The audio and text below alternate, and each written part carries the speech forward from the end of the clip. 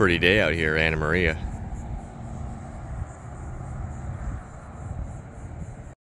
Well, hello, and welcome back. We're actually sitting in a 320C right here. It's bright and early. We're at Safe Harbor Marina.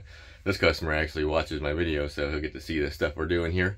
And we're going to focus on a couple things here because we got to sort a couple things out. So let's just get started. All right, it might get a little noisy around here because we have people buffing and obviously our forklift here runs a lot. But we have triple 300s here, V8s. We have the cowl recall to do, no big deal. You've seen that before you watching my videos. Here's one thing we're going to focus on is right here.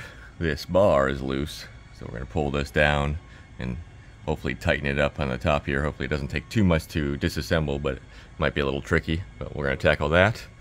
I got to update the Simrads. That's no big deal. I'll have to show you that. Another one we got here that's going to take a little effort here is our water tank. I got a brand new one because when they installed this, I didn't even notice it. You got to really look. Let's see if we can get our phone in here and see. You can see there, there is a crack because it looks like they over tightened it and it's leaking water out of it when it gets to that point. So that's our fill right there. There is our vent. And on the other side here, we have our water line down there, the blue line.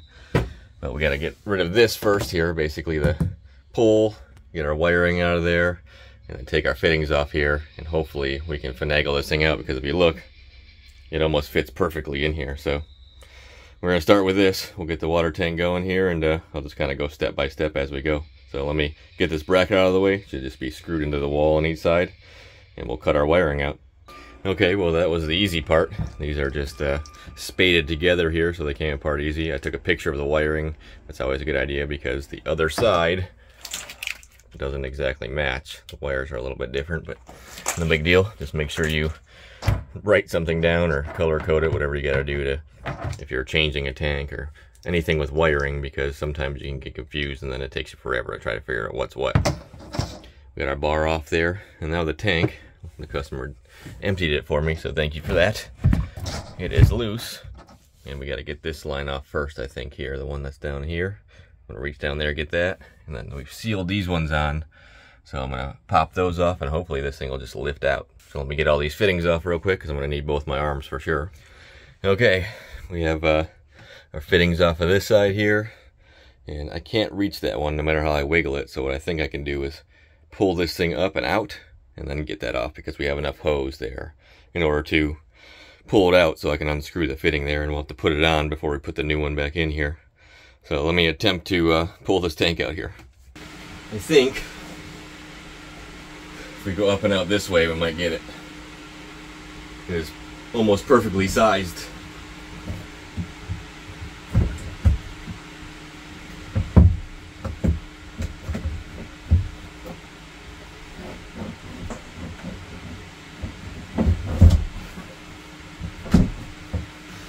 I can reach the fitting now.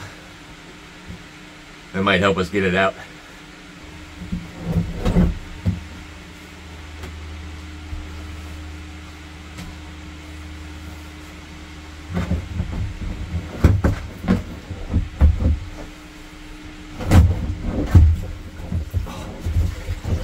That's it.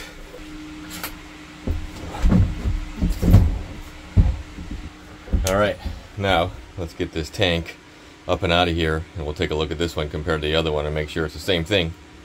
Here is our new tank and here is our old tank. They are exactly the same. I just checked all the measurements. I'm going to show you something here too so you understand how our senders work. So this is how our levels work. As the water fills up, it grounds these sticks basically. And that's what how it knows your level by the resistance of the wires. And as it goes up, it's like, oh, a half full, three quarter, full, quarter, and then it'll just beep at you and say you're empty when you're down here. I'm also gonna have to cut these wires, put spades on them, but we'll do that last after we get it installed and filled up. And clean this hole out that was leaking water in here because obviously it's made a mess. So I'll bail the water out and I got some good cleaner. We'll get all this cleaned out prior to putting the new tank in. So let me get that done and we'll uh, cut to putting our tank in the hole here. Well looky there, we are nice and clean now.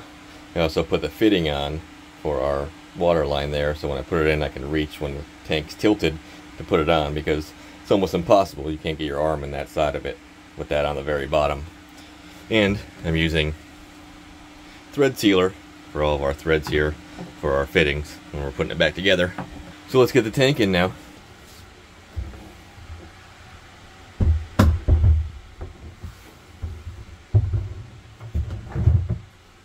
Like a glove. Set it right in there, first try. Our wiring's good over here. Let's get that hose connection on.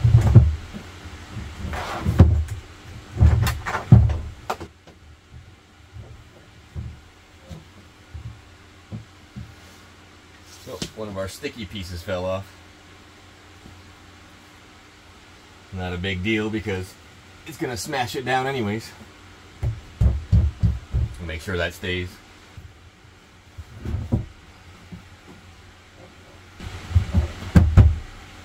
Seems good and stable there.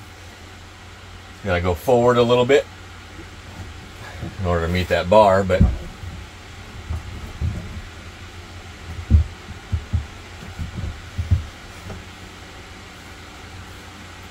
think we're good. Now, let me get my uh, fittings in here. We'll tidy that up. Get my bar across here. Got some connections to do here, and we'll put some water in it, make sure she don't leak. Okay, after fighting with all this, our fittings are in. We're good here, here. We're tight on there, and before I wire it, we got our bar put in here. She's nice and tight in here. Before I wire that up, I'm gonna go fill it with water, completely full coming out of the vent make sure we got no leaks anywhere. So in case I have to pull the tank back out, fix a leak or something, but this thread sealer should work. So let's go fill it up. All right, we got our hose up in our fill here. Let's go turn the water on. I had to rob a hose all the way around to the front.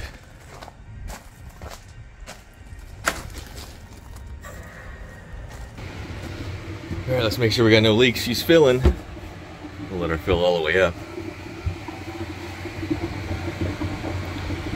So far so good. Nothing dripping. Stick our flashlight down here. I think we're good. And no leaks down there. I wonder if I can zoom in.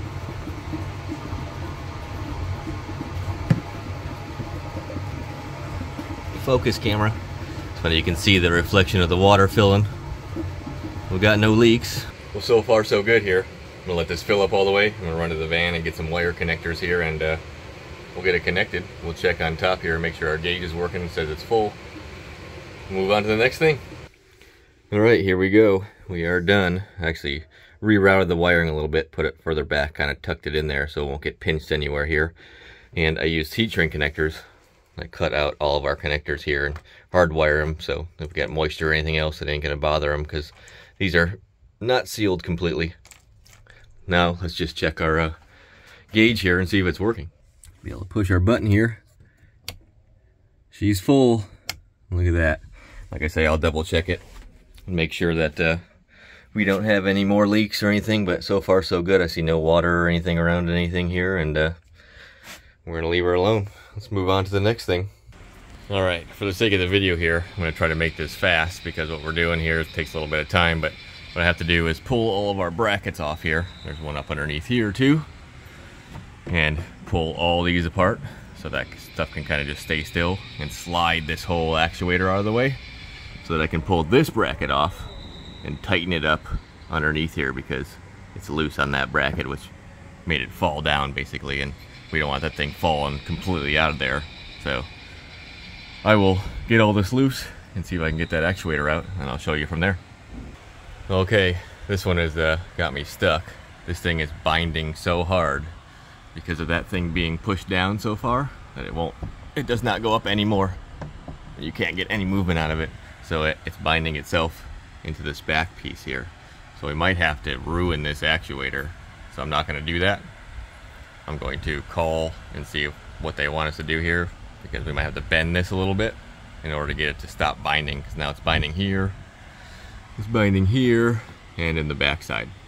So I'm going to uh, stop fighting with this here and get it all put back together so at least if the customer wants to use the boat he can because it ain't going to go anywhere being pinched inside of there so I'll slide it back in bolt it all back together and I'm going to call Sea Ray and say hey this is what's happening what do you want us to do do we want to pull this whole backside of that actuator apart basically ruin it, bend it a little bit because it already seems like it's bent because it, it binds when you twist it and then slap it back together. That should actually work. But because of all of our spots where it's getting pinched, it's going to ruin it and probably scratch the crap out of it even more than I already have. So we definitely need to uh, resolve this, but it's going to take another day to uh, plan and get back out here and we'll get it done.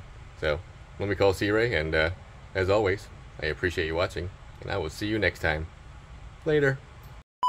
I like the name of the boat here. Shell Yeah.